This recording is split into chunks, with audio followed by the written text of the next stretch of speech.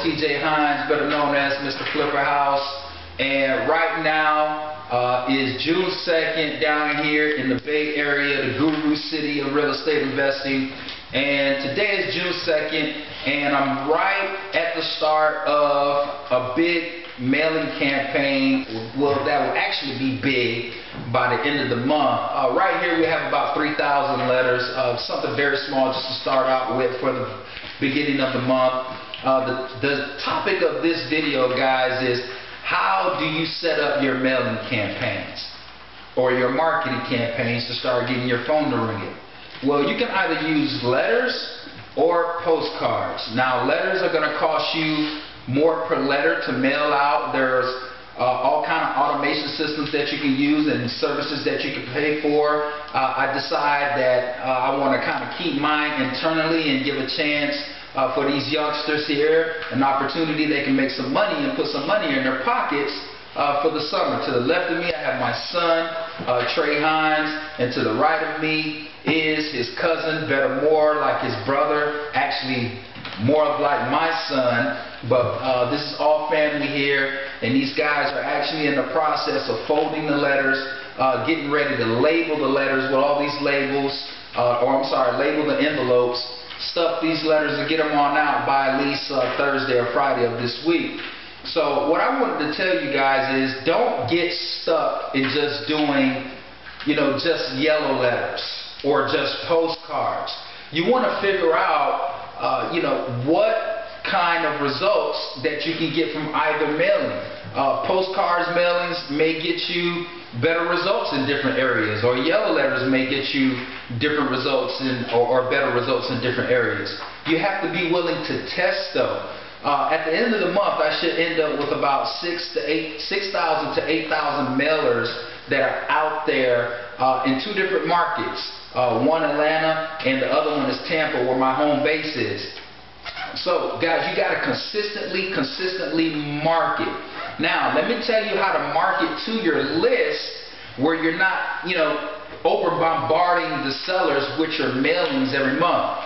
If you have a couple different lists that you're working with, I suggest mail either postcards or letters to that one particular list, whether it's of absentee owners or whether it's a vacant uh, whether it's a vacant free and clear, uh, high equity, or whether it's tax evictions, or take any list that you want to mail and mail to it either uh, postcards or letters.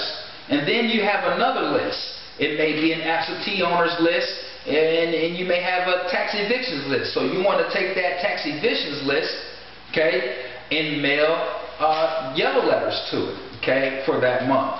Now, you want to give a month in between before you actually hit that same list again with another mailing. So let's say that you hit your tax eviction and your absentee owners uh, list in June. Well, you don't want to hit that same list until July, August. Okay? So you want to hit that list again, those same two lists in August.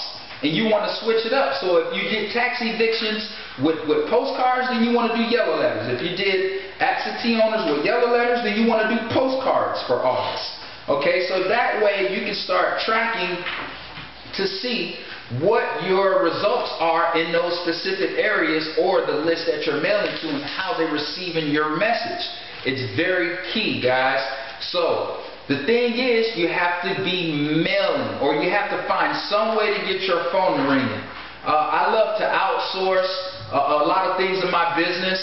Uh, of course, you know, I can't keep up with the amount of phone calls that come in, 8,000 mailers at the end of the month you know, that's a job that I would have to take on myself. So I outsource that to my assistant, and she does a very, very good job of keeping all of my leads intact simply by using a Google Docs spreadsheet. So guys, get out there, use this system of mailing that I'm talking to you about or teaching you about, and keep statistics and results from each list. Down from what is your response rate using postcards or letters to that particular list and then you want to hit that same list again every other month. Okay?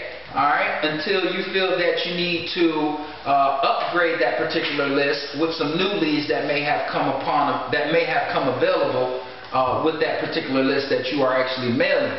I know that this stuff can seem a little over bombarding to you as far as me talking about lists and how to get the mailings out. If you have any questions regarding this topic, please feel free to reach out to me at info at mrflipperhouse.com and I will try to answer your question uh, as soon as I can. Now, I'm a very, very busy guy. If I don't get a, right to your question away, if I don't get to your question right away, uh, then, then just know that I'm one guy and I have multiple things that I'm doing at one time, all of the time. But be sure uh, I will get back to you and, and let you know uh, whatever concern or answer whatever concern or question that you may have regarding how to get your marketing campaign out and how to set it up. Uh, do me another big favor. Click the button above me, subscribe to my YouTube channel because I'm always giving out great content just like this here. Uh, I'm doing in this video and uh, hopefully you can take what you've learned here, implement it into your business where you can start getting some consistent results just as I'm doing in my business. This is your boy, Mr. Flipper House, TJ Hines. I'm out of here.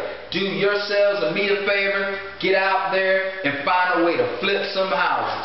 Peace.